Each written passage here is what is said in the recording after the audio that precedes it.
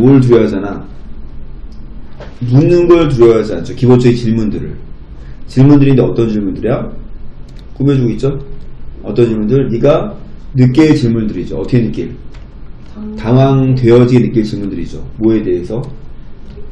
이미 그 대답들을 알지 못하는 것에 대해서. 하지? 네가 뭐 할 때, 어떤 걸 모를 때 그것을 인정해라. 가능한 한 빨리. 인정해라. 그리고 즉시 조치를 취해라. 이게 뭐라는 뭐냐면 질문하는 거죠. 만약에 잊었다면, 뭘 잊었다면, 누가 주식사지를 잊었다면, 그리고 얼마나 많은 수소를 원자가 있는지 잊었다면, 어디에? 물 분자에. 그렇다면 친구 친구에게 물어봐라. 단, 일단 벗은 아마도 단지란 뜻인 것 같아. 단지. 벗의 단지란 뜻이 있거든. 단지 하- one way or the other가 뭐라고요? 이런 저런 방식으로 물어보라는 얘기죠. 그치? 아까 내가 아까 벗을 그러나라고 하니까 약간 꼬이는 느낌이 들더라고. 그래서 네, 그리고 그리고 뭐야? 퀴드 하이인지 뭐 하는 거 숨기는 걸 그만두고 조치를 취해라. 역설적으로 뭐 할 때? 네가 기초 기초적인 질문을 물어볼 때 시간과 조건의 부사절에서 현재가 미래를 대신하죠. 약간 중학생 문법이긴 하지만 ask, will ask가 아니라 그럴 때 너는 아마도 뭐 할 가능성이 있어? 인식되어질 가능성이 있죠. 어떻게 인식될 가능성이 있어? 다른 사람에게 더 똑똑하다고 인식될 가능성이 있는 거죠. 더 중요하게 너는 엔더 ING는 결국 뭐뭐하다 마침내 뭐뭐하다 너는 마침내 훨씬 더 많이 알게 될 거라는 얘기죠. 너의 삶에 걸쳐서 삶이 지나면서 더 많이 알게 될 거라는 얘기지. 그 다음에 너무 중요한데요.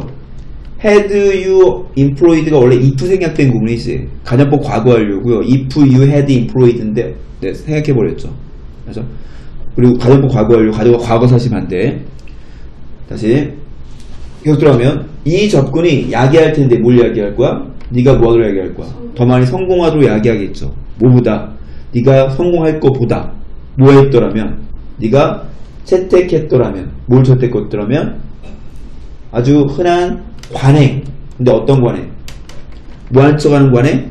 아니 아는 척하는 관행. 뭐보다 더 많이? 네가 아는 것보다 더 많이 아는 척하는 그 과- 흔한 관행을 채택했더라면 네가 성공했을 것보다 더 많이 성공할 사람으로 널 야기할 거란 얘기지.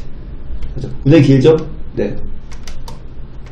가정법 숨어 있고 비교급이 두 개가 겹쳐 있고 문장이 되게 깁니다. 네, 다시 한번 해볼게요.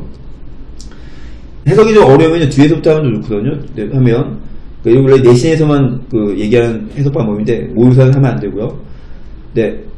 다시 뒤에서 볼게요. 왜? 만약 네가 아주 흔한 관행을 채택했더라면 네가 아는 것보다 더 많이 아는 척하는 아주 흔한 관행을 채택했더라면 네가 성공하게 될 것 그 이상으로 이런 접근이 너를 성공하게 야기할 것이다. 그치? 이게 우리말 없으니 이게 좀 어울리죠.